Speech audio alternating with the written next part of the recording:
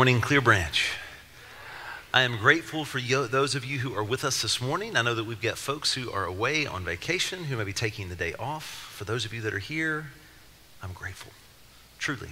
Um, it's always a blessing to be here in this place with you. It's always a blessing to worship with you, um, a blessing to preach, to bring a message to you, a, a, a blessing to be able to celebrate communion and to recognize and remember baptisms and to, to experience what it means to be the life, the body of Christ.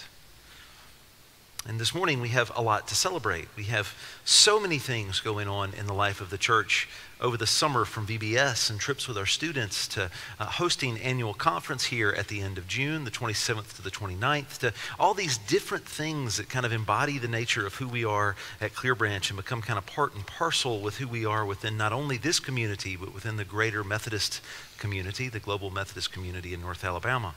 So lots of things for us to plug in and do. And sometimes I think we become really, really focused on being people that do and don't really succeed very much at people that can be, right? You understand the difference. We're, we're all about the doing sometimes. I think we forget about the being sometimes. I think we forget about the being present together, being here in this place, being responsive to what it is that God is pouring out upon us and calling us to and desiring of us in faithfulness. If you were with us last week, you know, it was Senior Sunday, and I preached a message about uh, kind of challenging our students and challenging the body relative to understanding these points of origin for us. And, and during this series called Generations, we're going to continue to kind of focus on those places of contact and connection that are so necessary in our lives. As we get started this morning, I'm curious how many people in this room have a mentor? I do. That's good. That's wonderful. Know, I actually happen to have a couple. One of them is in this room, Joel Dobbs. Joel and I meet, you know, once a month, and we talk and we plan and we think and we interact, and it's been wonderful. Vaughn was a mentor of mine. I feel like I've got a group of men that come up and that surround me on Sunday mornings and play with me. Ron and Russ and Brian and others. Mike Mueller, who's not here this morning, but lots of folks that, that wind up being a prevalent part of my life and my experience. People that will hold me accountable, people that will challenge me, people that will encourage me, people that will pray for me. In many of those instances, those people are a little bit older than I am. I heard a chuckle, a little bit older. It's okay. Sometimes maybe they're a little bit more than a little bit older, and that's okay too. You see, what I would argue is that when we surround ourselves with people that have greater life experience than we do, we have the unique opportunity to not only learn from their example, but also to be blessed by the time that they spend with us. To be blessed by what it is that they pour into our lives, to be blessed by the words that they share, to be blessed by the accountability that they hold us to. And I would argue that that's something that many times is missing from so many lives is having those people that will be that mentor for you. We find in Scripture again and again examples of people that call and live out lives of mentorship, of teaching, and of challenging. And today we're going to spend time focusing on that specifically within the context of the book of Deuteronomy. I know if you're a, an Old Testament fan, uh, some folks kind of get thrown off by the Old Testament, but, but the Old Testament is wonderful. Deuteronomy is a book that was written by Moses, it brings lots of information. He gives us the Deuteronomic law, we have the Deuteronomic covenant. We're going to talk some about that today. And in those places, it's important for us to remember that while Moses is teaching and leading the people of Israel, he's also training up Joshua who will take people into the promised land. And so there are people who can help to lead us to that promised land as well. And in those folks, as we are thankful to our great God, we should be thankful to the blessing that He provides us and the people who walk with us along that journey. So this morning, as we dive into Scripture, you guys join me in standing for the reading of God's holy and precious word. We're coming from Deuteronomy 32. And we're looking at verses 1 through 6. Give ear, O heaven, and I will speak. And let the earth hear the words of my mouth. May my teaching drop as the rain, my speech distill as the dew, like gentle rain upon the tender grass and like showers upon the herb. For I will proclaim the name of the Lord, ascribe greatness to our God. The rock, his work is perfect. For all his ways are justice, a God of faithfulness and without iniquity. Just and upright is he. They have dealt corruptly with him. They are no longer his children because they are blemished. They are a crooked and a twisted generation. Do you thus repay the Lord, you foolish and senseless people? Is not he your father who created you, who made you and established you? And this is the word of God for the people of God. Thanks be to God. You guys be seated.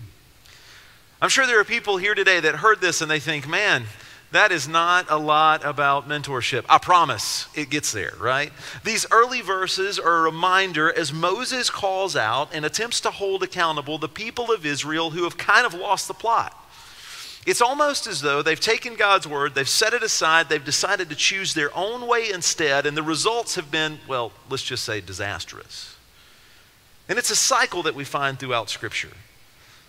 When God's people are close to God, things go well for them. They are blessed. They experience abundance. They, they have this connection and relationship with God, and they inevitably have this tendency to kind of fall out of practice. They, things are going well, and they think they don't need God anymore, and they depend on themselves, and they kind of have this fall off, and they ultimately wind up in this, this valley of despair and brokenness. They recognize that they have lost connection with the God who made them and the God who calls them and the God who leads them.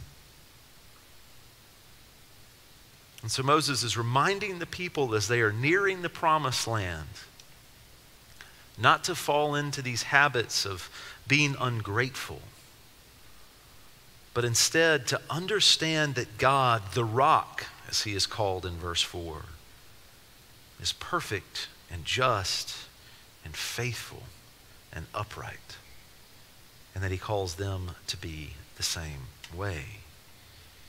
In order to help set the stage for you guys this morning, uh, to, to get a sense of what's happening, if you're not familiar with the book of Deuteronomy, this is the third major section of the book.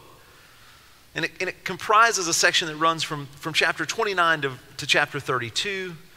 And, and this, this idea of covenant and connection is, is a prominent theme within the midst of this section of Deuteronomy. And you say, well, what was the covenant, Jeremy? Well, this was a covenant that was a little different than what we find previously. If you're familiar with Old Testament covenants, you know we've got the Mosaic covenant, we've got the Davidic covenant, and what we're talking about today is the Deuteronomic covenant. And so many of these covenants are focused on kind of this communal respect of who God is and who God calls us to be. And though that's important for us to respond as a body to who it is that God is, to go and to do and to be the body that He's created us to be. There's also this need for a necessity, requirement for us to recognize that it's also something that's very personal. And so when Moses begins to teach in this way and he begins to call out the people in these chapters, he's doing it because he desires for them to understand that it's not only something they're intended to participate in as a nation, as a people, but something they are intended to participate in as individuals, recognizing God's creative work and presence and blessing within their lives. In other words, he's telling them, yes, it's important to be the body, but it's also important for you to recognize that you play a unique and specific part. Subsequently, there is this relationship and connection. He's calling them to understand the importance not only of their lives, but of every life that has come prior to them and every life that will follow them. And sometimes I think we could use that reminder as well. Understanding the importance, yes, of creation, understanding the, the presence of covenant, understanding the importance of what God calls us to, and realizing that the God of Abraham and Isaac and Jacob should also be the God of Jeremy and of Mel and of Debbie and of Greg. You see, one of the things that was beautiful, and we find again and again in the Old Testament, is that they continually proclaim God's goodness and God's grace. In those moments where they fall short, they're reminded wait a second, we have got to remember and have faith and respond, be grateful for what it is that God has done. And in a very real sense, that's what Moses is reminding them of in this moment, calling them from twistedness, from wickedness, and instead into recognizing the power and the presence and the might of our great God. You see, Moses is leading the Israelites, and he's been doing it for a long time from Egypt to the promised land. They've gone through all of this distance and all of this time. They've experienced God's leading repeatedly through columns of smoke and of fire. They've eaten of manna. They've consumed water that sprang from rocks. It was an adventure, to say the least. But this experience has given Moses insight. He knew the nature of the people. He knew that they needed to learn from their pasts and strive diligently not to repeat the failures and the foibles of those who had preceded them. Now, how would you imagine that he might challenge them to do that? Well, if you've read ahead, if perhaps you've looked on to the verses that follow, you may recognize that he does that through calling out faithfulness and connection to learning from the generations that have come before, to asking their fathers and the elders with the hope and the expectation that they will teach them and guide them. You see, earlier this morning I asked how many of you have a mentor, and I think that we've lost sight of the significance that comes in these relationships with people who have lived life longer than we are, or longer than we have. I remember being a, a high school graduate and thinking that I had everything in the world figured out. Maybe you can relate to that. I was convinced that I was going to go to university and I was going to be this amazing student and that I was going to eventually come out and I was going to do something also equally amazing with no idea what it would have been at that moment. Maybe law school, I don't know. Maybe I'd be a teacher. I thought I had everything in the world nailed down, that it was in the palm of my hand. And what I found very, very quickly, much like the uh, image you see on social media, the meme, is like our idea of how we get from point A to point B is a straight line. And then we look at how God gets us from point A to point B, and it's like peaks and valleys and corners. And sometimes we fall off the mountain, and have to climb back up. There's all these different things that happen to us. And that has been my experience. That as much as I may plan and think go so far as to even say, believe that these things will happen in the way that I think they will, what I find again and again is that most times, the way that I believe things will happen is absolutely, positively wrong. And yet, in the midst of every situation, every peak and valley and turn and misstep, in the midst of all of it, God is present. And God is active, and God is calling me back faithfully, recognizing His plan and His purpose for my life, and desiring for me to not lose hope in spite of things going differently than I might have originally imagined. If you had told 18, 19 year old Jeremy that he was going to wind up in a pulpit in Birmingham, Alabama at 45, he probably would have laughed at you and said, There is no way in the world. And yet here we are. And there is no place that I would rather be. But I've gotten to this place through the blessing not only of God, but through the blessing of God providing people that could provide insight and accountability and encouragement along the path. And that's exactly what Moses is doing, not merely for Joshua, but for the entirety of the people of Israel. He's telling them, yes, you've made mistakes. And you know how you can avoid those things? Ask the people who came before you, and they'll help to point you in the right direction. We really see the culmination of that happen in verse 7. And ultimately, it's this call for them to engage with elders and fathers to learn. Hear, hear God's word. It says, Remember the days of old, consider the years of many generations. Ask your father, and he will show you, your elders, and they will tell you. So, who is it that you call when you need insight and help? Who is it that you call when you need direction? Anybody? Who's that? Dad? Yeah, absolutely. If your father's still alive, absolutely. Tremendous resource. Who else? Friends? Yeah. Grandparents sometimes? There are lots of people in our lives that we can call out to. What I would argue is that so many times we neglect to do that. If you know anything about the generations that have come before you, uh, my experience has always been that they're willing to share if you're willing to ask. And the problem is that so frequently we're unwilling to ask. We have the mindset that because we know better than they did, or because we have more technology or more available information, or I don't know, terabytes worth of computers in our pockets, that somehow we have the ability to outthink or outknow.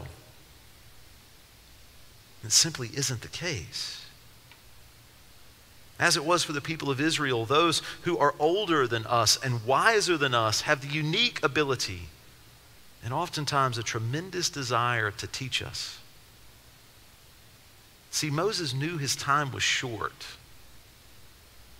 And he began to encourage them to look to older, to other people who were elders, so that they could gain insight and understanding, so that they could learn from the mistakes of the past in an effort not to repeat them in the present. And there are countless things that we can learn from those who come before us about relationships, about life, about business, about choices, about raising children, about canning vegetables. It could be any number of things that you can learn about. And it truly merely takes asking. I'm curious within this room if you're over 65, would you be willing to share your knowledge and experience with those who are younger than you? How about just a raise of hands? If you are younger than 65, look around this room. There are a great number of people whose hands are raised because they have information that they are willing to share with you. But it requires interaction and connection. As Moses puts it, it requires asking, which means we must be willing to ask. We must be willing to acknowledge that we do not have all the answer, to remember that there are experiences in lives that um, sometimes go well beyond the things that we can learn from Google. or from YouTube.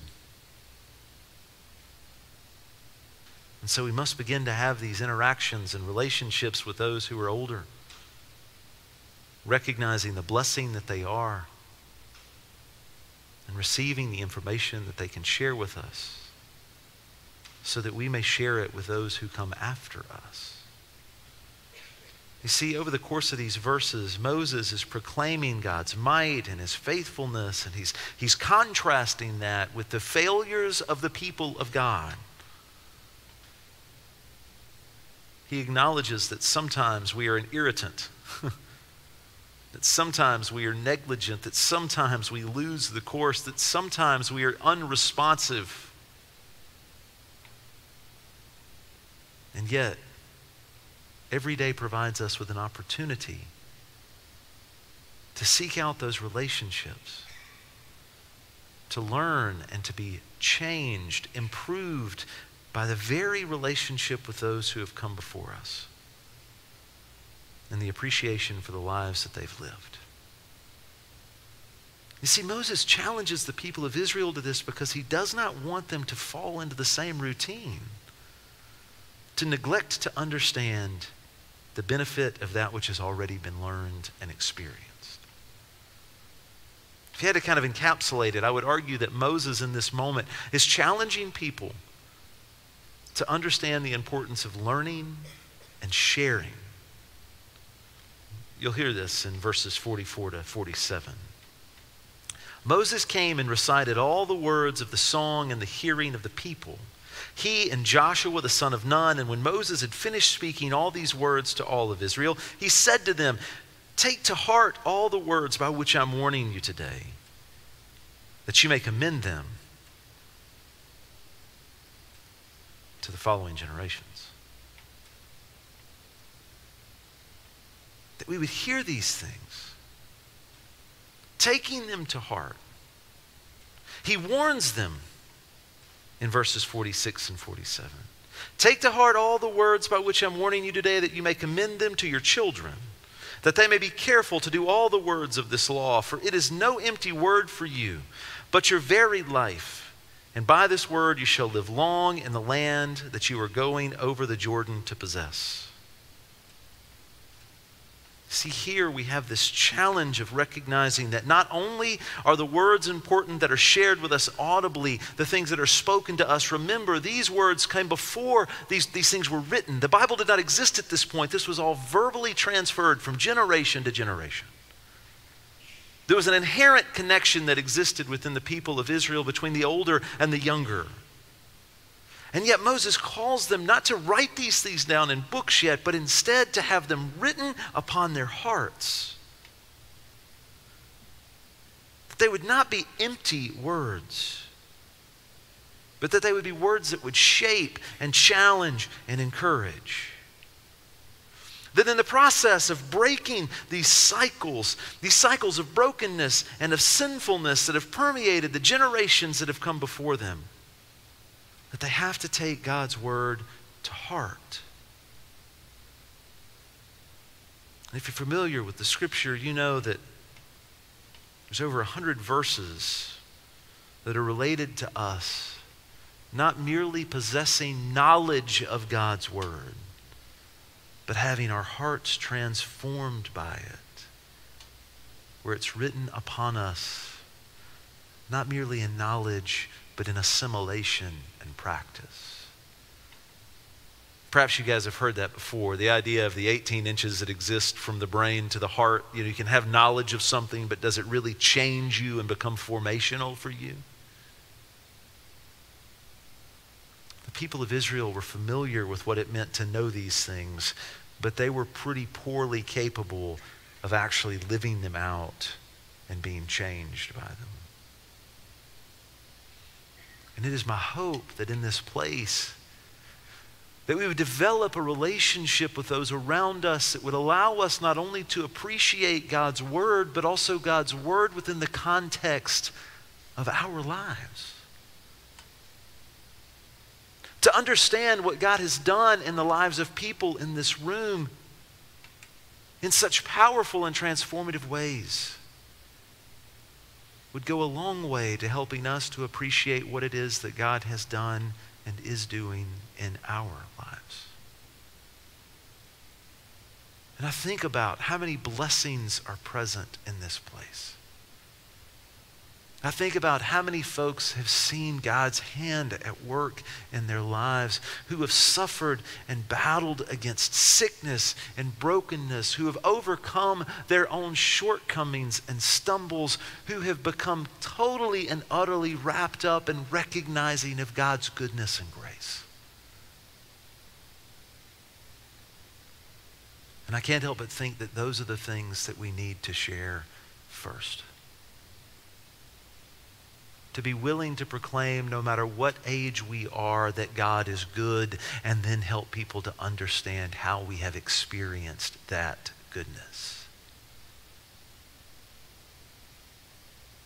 See, one of the things that happens in the midst of Moses' writing is that he constantly reminds people to not only remember but to proclaim the might of God to remember and proclaim his blessings, and to do it without hesitancy, to do it with passion and excitement because God is faithful and God is working. This is something that we can put into action as well. To be willing to share where it is we have seen God work not merely today, but throughout the course of our lives.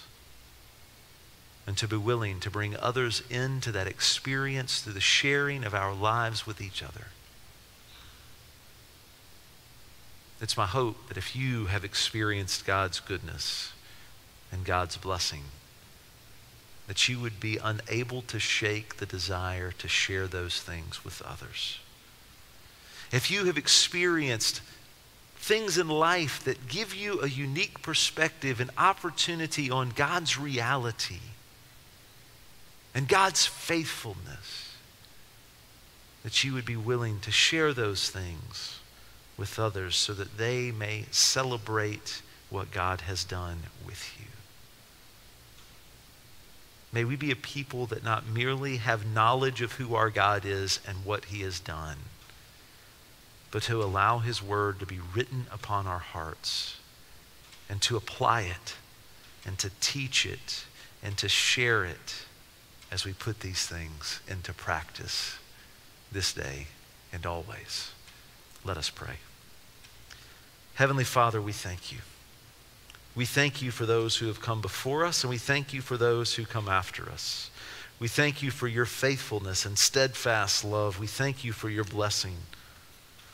And we ask, Father, that you would help us to be so aware of the many ways that you've been at work in our lives that we have no choice but to share it with others.